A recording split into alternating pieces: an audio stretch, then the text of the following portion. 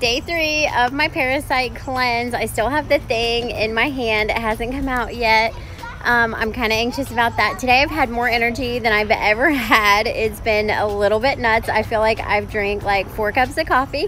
But other than that, nothing crazy yet. So I'll see you tomorrow for day four.